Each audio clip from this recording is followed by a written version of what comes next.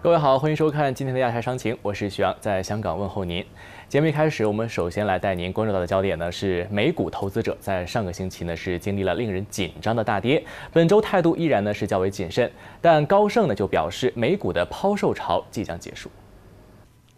在经历了震荡的一周后，美股本周一受科技股拖累继续走低，美股投资者也依然较为谨慎。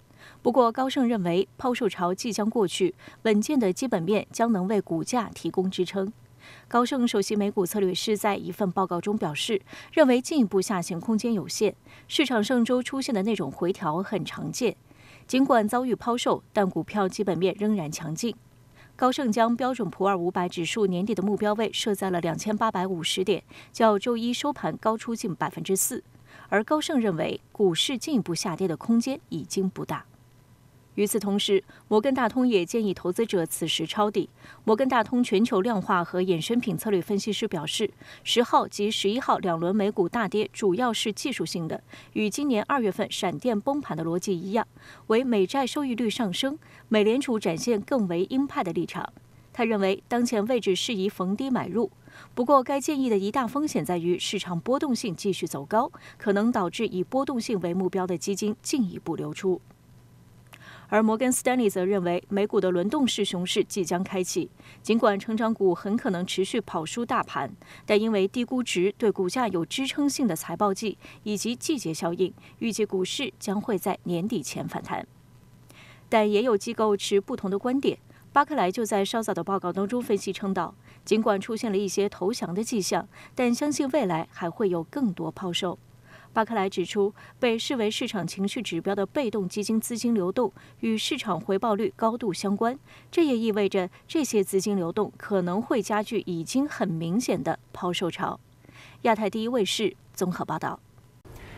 今天做客我们节目的嘉宾呢，是我们的老朋友了，天成康和证券投资总监潘铁山先生啊，Patrick，欢迎你。哎，徐老你好，又见面了哈。看到美股上周呢，经历了这个黑色星期三之后呢，像纳斯达克指数，还有这个整个包括这个内地跟香港的股市的话，都出现了一个崩崩，不能说崩盘，但是确实是蛮大的一个调整哈。对。不过呢，我们看到华尔街有很多的一些分析就指出说，其实现在市场还是比较乐观的，有机会还会有这个反弹哈。您觉得美股的这个好日子啊，还能够持续多久呢？呃，其实从技术面来看的话，纳斯达克的那个股份，呃，它最近的这这个这个上升通道啊，这个这个底部啊已经跌破了，是早早两周已经跌破了，就是呃技术面是这样子，呃基本面是其实坦白说那个。大部分的那些呃新经济板块的个股啊，它的估值太高了，都是一百倍到一百五十倍以上的水水平，呃，远远就是超过那个合理值。所以呢，在这种情形底下的话，我相信纳斯达克的股份呢，会带动到美股呢有个比较大的震荡。嗯。呃，现在是还剩那个杜琴师，它的上升轨道的那个底部呢，会不会跌破？呃，这两周都知道了。然后这真的跌破的话，我担心呢，是有个比较大的一个幅度的调整。呃，这个是跟着去呃会过来。呃，坦白说，那个美国本土的呃看看好，就就是已经游了游了很很多年了，就是现在还是有机会会做出比较大的回吐了。嗯，没错好。另外我们发现呢，其实这个我们说苹果啊，就是美国的这个在我们市值那么高的这样的一个公司啊，推出这个新产品，但是确实呢，这个好像没有什么太多的亮点，也导致说以苹果可能为首的这个股份也出现了一定的调整，但可能跟其他的一些科技股板块来讲的话，调整的没有那么大。但确实呢，有一些分析谈到说啊，比如说像贸易壁垒啊，或者说之后的这样的一个啊，下个季度的这个出产量的这样的一个数据，会否啊，这个美股方面的话还有蛮大的压力呢？嗯，呃，我相信是有的，因为不仅呢，就呃这个呃现在看那个 iPhone 啊，就是苹果它这个手机其实没什么很大的特色，都是呃从原来的这种的设计上呢再改良一下，呃镜头的视呃视视像的那个。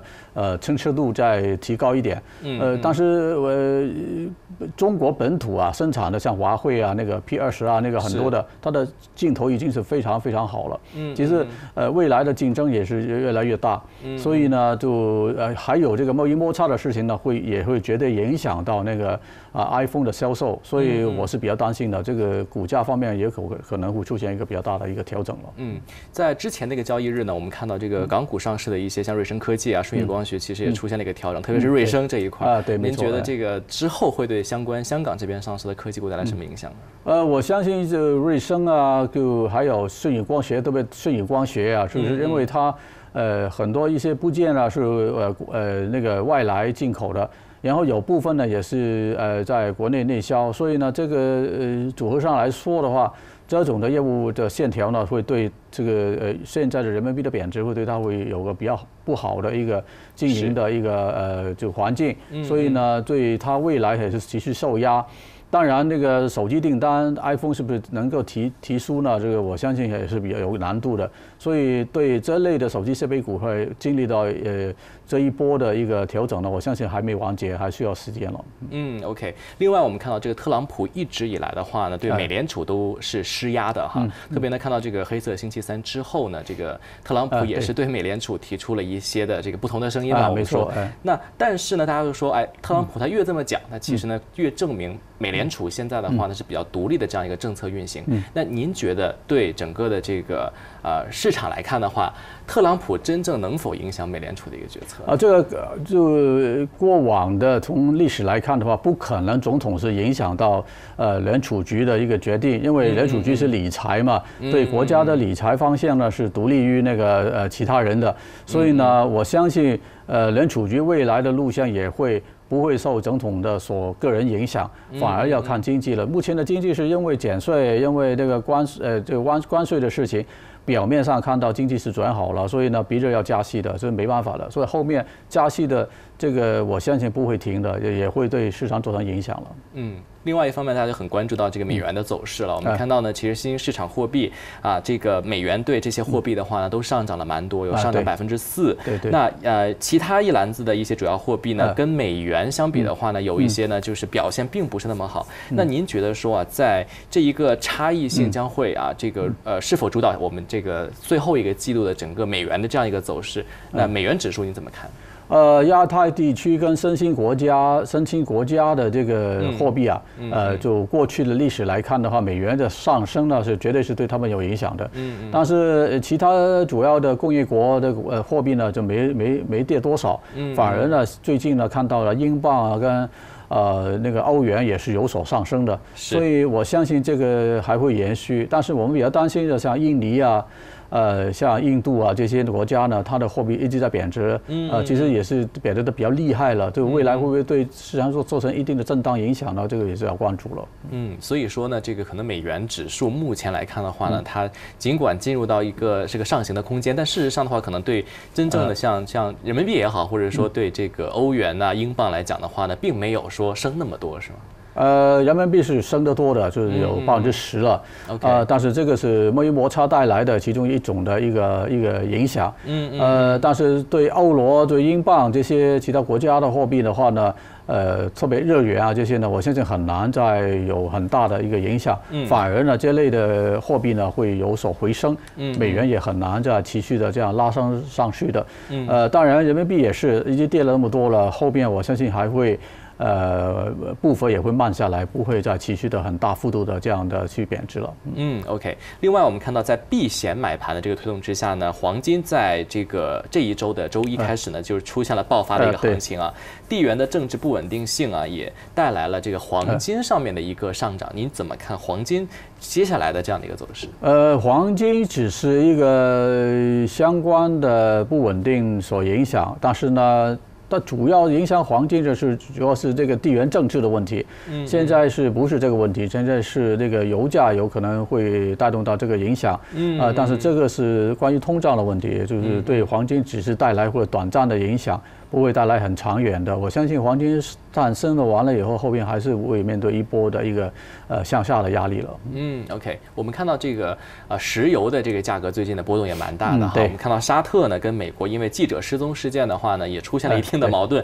呃，美国的表态是很强硬啊，但是沙特这边的话呢，也威胁说啊这个。使用石油武器让油价上升到每桶两百美元哈。那您觉得这个局势会如何发展？对油价的影响会有多大？其实特朗普的言论都是都是向外，就是在就是好像好斗的一样的，就是这样这样跟这些国家来呃就是呃讲话。就是其实对沙特来说的话。其实沙特的油价真的是提升的话，对美国本土的经济影响是蛮大的。虽然美国的油是一个进出口国，但是呢，油价的上升会带来很大的成本的压力。没错。所以这方面来说，会绝对会对它是受影响的了。嗯那油价的一个走势的话，你怎么看？油价走势还是在这个八十五呃，这个这个八十五块上会有一定的一个呃，就是。呃，打横的一个波动不会有太大的一个，我估计啊，很难会再往上走到九十五以及一百块。目前从基本面来说是不不不没有这种条件，我相信还是。七十五、八十五这样走了。嗯，OK。那对于比如说在香港这边的这个三桶油的表现哈，对，其实呃三桶油的表现的话，其实对跟大势相比的话，其实还算是跑赢大势的。那您怎么看？其实这个现在之后啊，我们这个港股这样的一个表现的话，那对这个石油类的股份会带来什么影响？石油股升不少了，就是呃中石化，因为它有呃天然气，嗯嗯，还有那个呃炼油跟那个石化产品呢，在这个油价。靠近较高水平的话，对它会有会更有利。嗯，反而对中海油、中石油的话呢，是上游业务为主的话，特别中海油的话，嗯嗯，油价会牵牵动到这类的股份，但是一升不少了，可能后面再延续的上升的空间还是相对来说会少一点了。好的，那今天呢，非常感谢潘铁山先生做客我们的节目，也感谢各位观众朋友们的收看了。那更多资讯呢，可以浏览我们 TV 的官方网站，还有微信公众号。感谢您的收看，我们再会。